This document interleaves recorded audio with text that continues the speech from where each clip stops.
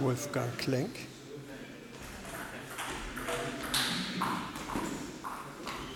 Ist der drauf, Toni? Die Säge? Ist der drauf? Na, der erste Satz ist drauf. okay, das, ist, das andere löschen wir. Da holst du ja jede Drogenfahndung ins Haus mit dem Satz.